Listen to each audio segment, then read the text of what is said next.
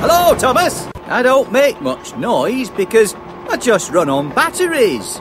Oh, I wish I could make steamy sounds like the other engines. I know I'm just an electric engine, Thomas, but I want to chuff and puff like a steamy. That's me. I'm Steamy Stafford. Oh, steamies have whistles, but I've only got a horn. Maybe I can make a sound like a steam whistle too. Woo woo! Maybe sometimes it's best to be a quiet electric engine. I'm not making those sounds anymore. I'm not Steamy Stafford. I'm Quiet Stafford, the electric engine. Shh.